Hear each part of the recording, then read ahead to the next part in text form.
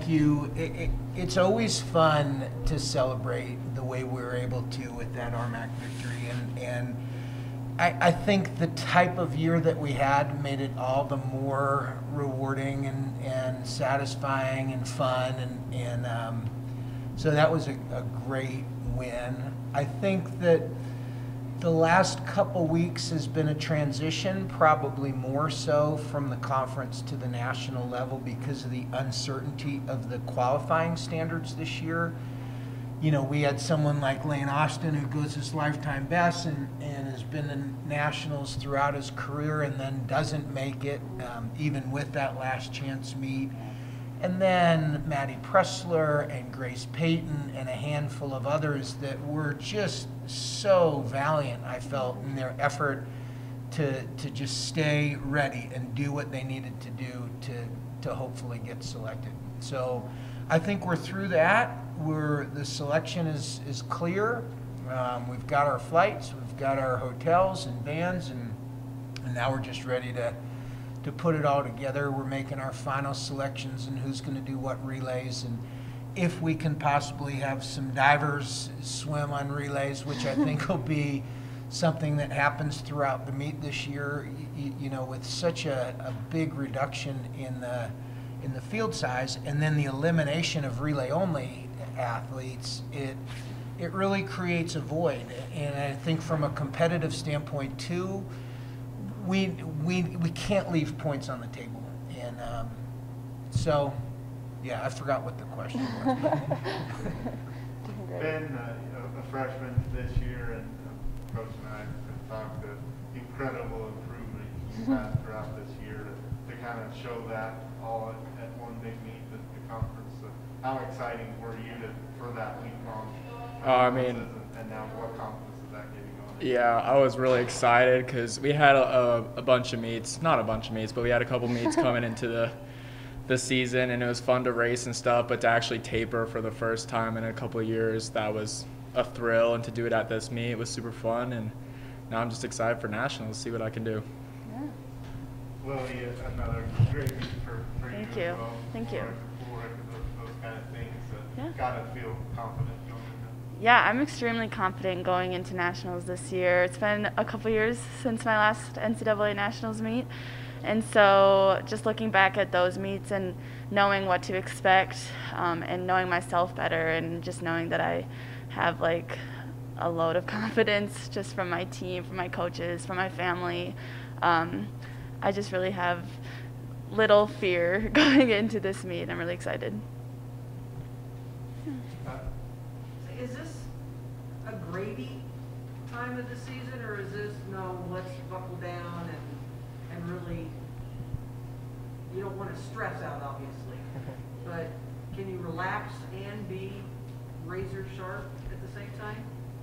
Um, absolutely. I think that this is the time of the season where we are the most precise and we um, have trained every possible outcome in a practice. I always say that a race can't be as painful as the hardest practice that we've done.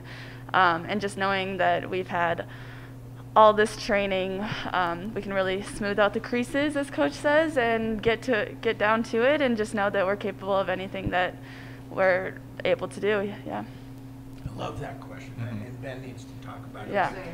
but that's but that that's what you, that's our sport in a nutshell yeah. right? Is that relaxed intensity, that that ability to focus and be relaxed. And, mm-hmm. and I'll just before Ben answers, the the the level of excellence that the two of them brought to training every day was extraordinary in, in two different ways. I mean, Ben, he was 22.0 a year ago coming out of high school, mm-hmm. and now to be 20.0. He was 52 uh, mid in the in the backstroke now to be 48 mid in the backstroke.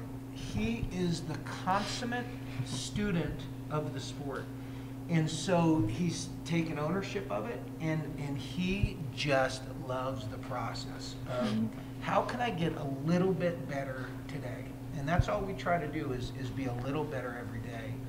Lily is almost on the opposite end of the spectrum, just in terms of her experience with herself. and her ability to articulate that and to be very clear in this is what I think I need, which is different in most cases from what we want. And this is how we're going to fit it into the, the, the framework, the scheme of, of what the team's doing. Um, and so I think the two of them, Pat in particular, have built their game, have, have gone through the process so precisely and personally that they're going to be successful. You, you know, I don't know how successful, but, but I, because we never know until we do it. But they deserve to feel confident because of the preparation that they've been through. Yeah. Yeah. I mean, exactly what Coach said. Like, put in a lot of work during the season. Right now, you know, working on a lot of technique and stuff, and still some more power, and just trying to be ready for the races and stuff. But, I mean, this is the hardest I've trained ever in my life this year, and that clearly it's paid off, you know, which is always a good thing to see. Yeah. So- So are you gonna have like a swim off with the divers? To see who's, you know, who can, who can stay afloat long enough to get We down and think back? Isaiah Cheeks wants it the most. Oh, yeah. We're trying not really to talk about it because they still have to qualify. You know, we'll get to Alabama on Sunday and then they have to go on Tuesday. So r- really, no one's eligible until they're in the meet. So Yeah. Isaiah seems to want it. and he's good. Yeah. He's They're a all good. great athlete. All the divers are good swimmers. That's, you know, sometimes, you know, that's, hey, I'm gonna swim from where I come up to, and that's it. you know, Yeah. but- Yep, Yeah, no. It is, it is unique that, you know, you can't take another relay guy, you've gotta kind of make relays yeah. for what you've got. So Mhm. It's hilarious.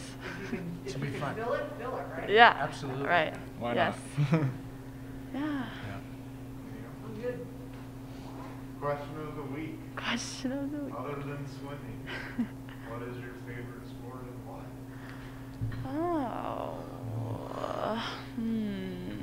I got it. um, I've really enjoyed hockey lately, actually, um, especially when they started back up. And my grandparents love hockey, so we started watching it on TV, and it's been really fun. So go Avs! I'm, a, I'm the triathlon coach, so I gotta say triathlon, and I love um, swimming, biking, and running. But I really love to get up on that mesa right there, and Powderhorn. You can't really see it because it's on the around the corner. But I'm an avid snowboarder and and board sports enthusiast. So Mm. any anything on a board. Nice. Um. Well, I uh, don't watch that many sports besides swimming, but I definitely appreciate like all types of sports. I went to the Come soccer. on, I went to the one. soccer game this weekend. um, I like watching track and field. Um, I used to play volleyball, but just terrible at that. But I think it's fun. Beach volleyball. There we go. Sure, let's do that.